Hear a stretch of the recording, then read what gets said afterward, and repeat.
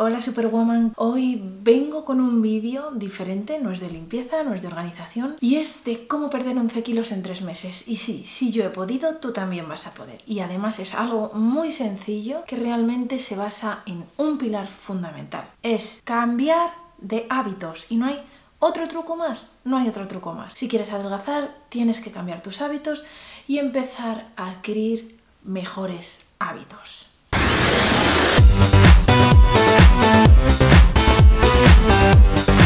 Yo actualmente estoy a mitad de camino, he perdido 11 kilos, pero me faltan otros 11. No llega a 11 kilos, o sea que me falta un poquito más de 11. Pero bueno, más o menos esa es mi meta, perder otros 11 kilos más para yo verme bien del todo y verme en un peso normal y que me haga feliz. Actualmente ya me encuentro muchísimo mejor, obviamente porque con 11 kilos más es que me veía como una ballena y no me gustaba nada, no quería hacer nada, no quería salir de casa, ni pintarme, ni peinarme, ni nada porque no me veía bien. De hecho es que ni me miraba al espejo, para que te hagas una idea. Entonces, bueno, te voy a contar exactamente qué hábitos he ido adquiriendo que me han ayudado a alejarme de ese peso asqueroso que tenía antes y que no quiero volver a tener jamás en la vida. Antes de nada quiero decir que todo mi problema de alimentación viene sobre todo de aquí, de la ansiedad, pues que tengo a veces pues que se me juntan cosas y la forma más rápida para mí de calmar mi ansiedad es a través de la comida comiendo sin parar y comida que engorda mucho. Entonces, bueno, el primer hábito que he ido adquiriendo es eliminar de mi vida bollería industrial, las galletas Príncipe de Becalar, o sea, eso han desaparecido. Lo primero porque me sacan unos abones horrorosos, unos granos gigantescos en la cara que no he vuelto a ver desde que desaparecieron de mi vida. Bueno, al principio me ha costado más, pero luego en cuanto he ido perdiendo peso, como que eso sola, sola mi cara ya deja de fabricar tanto grano. Sigo teniendo granos, obviamente, porque tengo SOP y eso es así. Y, entonces la gente que tiene SOP pues es más propensa a tener granos que además se enquistan. Pero bueno, sí que es verdad que he ido mejorando un poquito en esto. Entonces el hábito número uno, como he dicho, es dejar la comida basura de golpe y porrazo, sobre todo bollos porque yo soy más de dulce y eso es lo que más me, me, hace engordar obviamente y ponerme como un tonel. El segundo hábito que he adquirido es el de beber mucha agua. Normalmente todas las mañanas, según me levanto, antes de desayunar ya me bebo agua, intento beber mucha agua eh, por el día, durante el día y sobre todo después de merendar hasta la noche me inflo agua. ¿Por qué? Porque para mí es el peor momento, el momento de mayor ansiedad y donde siempre peco. Entonces intento llenarme de agua y tener sapos en la tripa si hace falta para no picar. Porque es donde a mí me ataca la ansiedad, donde ya se acaba el día, es el momento que ¡ah! relajación, felicidad, ¡uh! comida, comida, comida y no. Entonces yo me inflo agua y así vamos quitando las ganas de comer, porque además muchas veces ya de lo mal que nos alimentamos confundimos el la sed con el hambre. Y aunque sé que es bastante diferente, hay veces que bebiendo agua se pasa el hambre. Así que sí, confundimos la sed con el hambre, yo la primera. Entonces siempre prefiero beber mucha agua, sobre todo por la noche, para evitar tentaciones que no debo tener. El tercer hábito que está cambiando mi vida y que me ayuda a perder peso es introducir alimentos integrales. El pan integral, el arroz integral, bueno, y la avena. La avena que me la tomo por las mañanas, avena con cacao desgrasado y leche. Y no le echo nada ni edulcorante ni nada, me lo tomo así, tal cual ya me he acostumbrado y ahora me sabe delicioso. Que no es que sea de estar a dieta, sino de tener un buen hábito, porque, bueno, he de decir que yo actualmente estoy con una nutricionista que lo único que me, dice es mm, que procure comer, por ejemplo, verdura en las cenas, que coma proteínas, verdura, legumbres y cosas así en las comidas, que por la mañana tome los hidratos, que tome más hidratos, que no pasa nada porque tenemos todo el día para quemarlos y que entre el almuerzo, vamos, en el almuerzo y en la merienda alterne lácteos y fruta. Y no me ha dado más pautas, es decir, es adquirir unos hábitos saludables, alejar de mi vida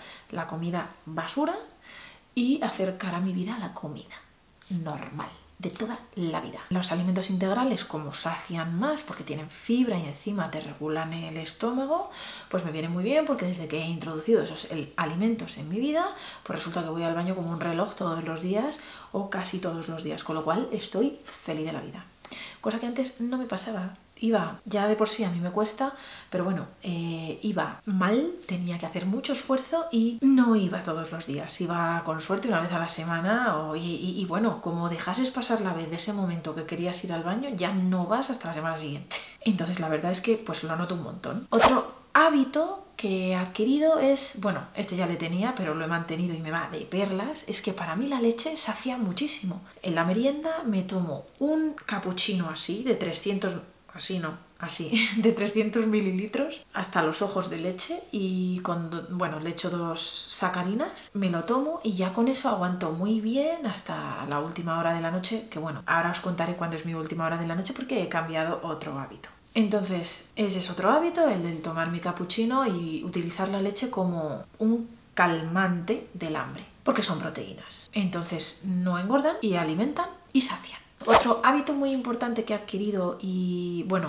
que lo tenía de antes de estar con mi chico y ahora lo he recuperado. Y además que lo he hecho así porque me beneficia más y me he dado cuenta que funciono mejor yo y mi cabeza funciona mejor, es cenar pronto. Lo que estoy haciendo es que ceno con mi hijo y ceno incluso antes que mi hijo. Ceno yo y luego cena mi hijo y así yo no tengo hambre y no me como lo que le sobra a él del plato porque antes era el cubo de basura de mi hijo. Y aparte me comía mi cena, así que fatal.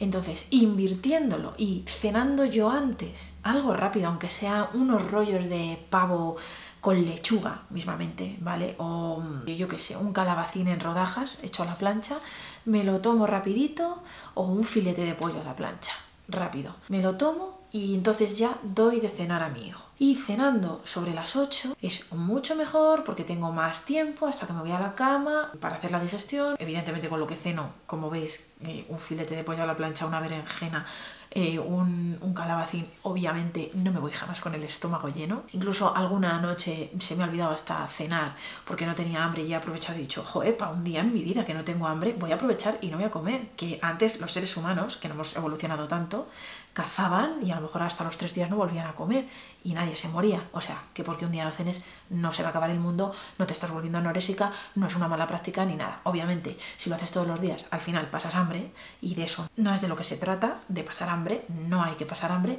pero eh, bueno, pues si un día no, no cenas, pues no es el fin del mundo, no pasa nada y puedes seguir con tu vida que el mundo no se va a parar. Entonces, pues bueno, eso es lo que iba cenando y ese hábito también me ha venido fenomenal para conseguir controlar mi ansiedad, mejorarla y no tener tentaciones. Un hábito, que este eh, por obligación lo he adquirido porque mi chico ha comenzado a trabajar en un sitio donde madruga mucho y por lo tanto se tiene que acostar muy pronto, es acostarse pronto. Acostarse pronto es un hábito maravilloso que te permite dormir más y sobre todo no te vas con hambre a la cama y te duermes así. En un segundo te duermes, te quedas frita y ya está. Para que te hagas una idea de lo pronto que me acuesto, digamos que la cancioncita que ponen en el hormiguero al empezar, el bailecito este, la coreografía que hacen, ese es mi, mi toque de queda. Y ese es el toque para irse a dormir. Y bueno, básicamente estos son todos los hábitos, creo que no me dejo ninguno, que he adquirido y que estoy manteniendo en el tiempo para no engordar y para obviamente adelgazar, que es de lo que se trata. Bueno, obviamente otras cosas que he ido adquiriendo, evidentemente a medida que vas adelgazando, te apetece comer menos, comes menos cantidad, tampoco es que no coma mucho. Todas las semanas, una vez a la semana, sí que tengo permitido darme el capricho de mi vida y comer lo que me salga de las narices. Ha habido semanas que he hecho más mmm, comidas trampa y entonces he tenido que compensar otros días comiendo muy poco y eso no se lo aconsejo a nadie porque se pasa mucha hambre, así que mejor centrarnos, elegir un día, mejor planificarlo y si no, si sabes que vas a tener una cena o una comida un día, eh, un día en la semana, pues ese día ya sabes que va a ser tu comida trampa o tu cena trampa y entonces ya el resto de la semana sabes que tienes que estar estrictamente comiendo lo que tienes que comer, que es lo que deberíamos comer todos siempre. Comida, comida normal, pescado, carne, pollo, arroz, pasta, lo que te dé la gana, pero elegir bien el momento, por ejemplo, por las noches pues más proteínas, más verdurita y por el mediodía pues puedes fliparte un poquito más con la pasta, con el arroz. Las legumbres son muy buenas a la hora de comer también.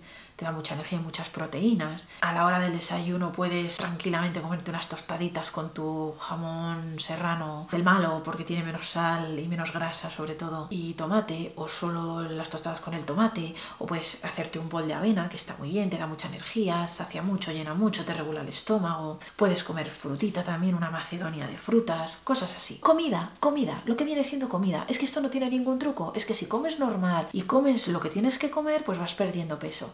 El problema viene cuando tienes aquí el problema, el problema que te hace ir en contra de lo que tú quieres. Porque yo muchas veces tengo que hablarme, mira, otro hábito importante que he adquirido es precisamente el hablarme a mí misma y según me entran pensamientos de levantarme e ir a la cocina para picar algo y comer algo, decirme a mí misma, Sara, ¿de qué coño vas? Olvídate, olvídate de la nevera, a la nevera no se va. ¿Tú qué quieres? ¿Estar más cerca del peso que tenías o del peso que estás alcanzando? Quieres llegar al objetivo, ¿verdad? Y por tanto no te vas a levantar a la nevera porque no tienes hambre, es simplemente que quieres calmar tu ansiedad. Con esas charlas contigo misma, convenciéndote, porque muchas veces es que vamos porque simplemente nos calma, nos calma la ansiedad, nos da felicidad instantánea. ¡Jo, qué rico está esto! ¡Ah!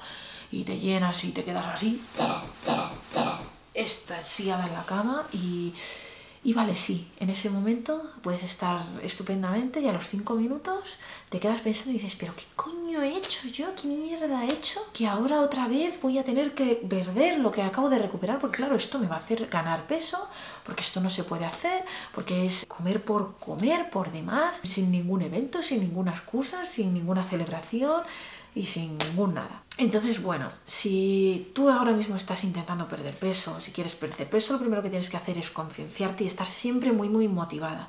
Yo ahora mismo estoy con una nutricionista que me reúno con ella todas las semanas, los miércoles por la mañana, se llama Alba y es encantadora y pues ella me dice, pues mira, tienes que ir ya más estricta porque ahora ya el cuerpo está reservando pues lo que tiene de comida porque claro, está viendo que ya no le aportas ese aporte extra que antes sí metías, que lo metías a todas horas y entonces ahora el metabolismo se vuelve más eficiente. Entonces ahora hay que ser mucho más estricta en las comidas trampa, por ejemplo, y solo hacer una a la semana y tampoco pasarte ocho pueblos, porque ya no lo necesitas tanto. Lo que pasa es que tu mente sí. Y entonces a mí, por ejemplo, al hablar con la nutricionista me viene fenomenal, sobre todo para pensar, para recapacitar, para comprometerme con ella, para no fallarla. Porque si yo me comprometo a que voy a perder medio kilo por semana, o que es más o menos la, la media que llevo, medio kilo, 700 gramos es lo que me aconseja mi, mi, nutricionista perder, no más. Y a veces pierdo mucho más y a veces eh, pierdo mucho menos. He engordado una semana, me parece, o sea que bueno, tampoco es que lo haya hecho tan mal por ahora, pero sí que es verdad que a veces pues tengo mis fallos, por ejemplo, esta semana mi hijo está malísimo y pues no he podido hacer nada más que estar con él y por él y todo lo que necesite él y al final del día acabo con la cabeza como un bombo pensando en que no he trabajado nada, que no he podido hacer nada para YouTube tampoco, que no me ha cundido absolutamente nada y lo único que quiero es ir a la nevera y arrasar, y he arrasado. Y esta semana, por ejemplo, lo he hecho fatal. Pero espero reponerme de mi error porque es lo que quiero y la semana que viene cogerlo ya con fuerza y hacerlo perfectamente bien y con ganas y con mucha motivación. Así que si estás en esta situación, prepárate mentalmente, sobre todo habla contigo misma, muy importante, sobre todo si no puedes acceder a una nutricionista o lo que sea. Si quieres acceder a una nutricionista, dímelo, me lo dejas en los comentarios, yo te puedo pasar el contacto de mi nutricionista, que la verdad es que da unas pautas muy sencillas, claro, siempre dependiendo de cada caso. He perdido, no sé ya si 15 centímetros de cadera, de cintura, del brazo he perdido como 6 centímetros o algo así. El pecho sigue igual porque como doy el pecho, pues ahí sigue. Eso va a su bola. Pero bueno, la verdad es que estoy súper contenta de lo que he conseguido y si tú estás en esta situación de que quieres perder peso como yo, hazme caso que es posible, es simplemente mentalizarse y estar fuerte mentalmente, que es muy difícil, yo lo sé, pero si quieres, aquí me tienes, yo te puedo ayudar, te puedo pasar un contacto. Mi amiga Gloria del canal Gloria Blanco tiene un problema precisamente, un trastorno alimenticio y bueno, pues ella está tratando de superarlo a su manera, con sus altos, con sus bajos, con sus recaídas, con sus logros y con todo. Y es normal perder la motivación, pero lo que hay que hacer es recuperarla y yo te animo a que te unas conmigo y veremos a ver dentro de tres meses qué tal ha ido evolucionando la cosa. Escríbeme siempre que quieras, háblame siempre que quieras, que yo voy a estar allí para apoyarte y te voy a hablar y aconsejar y derivar a personas que sé que pueden ayudarte mucho más yo, porque yo evidentemente eh, estoy tratando de perder peso pues como tú. Y verás cómo se puede y todas vamos a poder adelgazar y vamos a sentirnos felices y a gustos con nosotras mismas. Y bueno, espero que te haya gustado este vídeo de hábitos que están cambiando mi vida, de cómo perder 11 kilos en 3 meses aproximadamente, un poquito más, pero bueno, más o menos 3 meses y algo. Y nada, Superwoman, mil gracias por ver este vídeo y aguantarme un día más. Espero que te haya gustado también este tipo de vídeos. Un besazo enorme y nos vemos en el próximo vídeo. ¡Chao!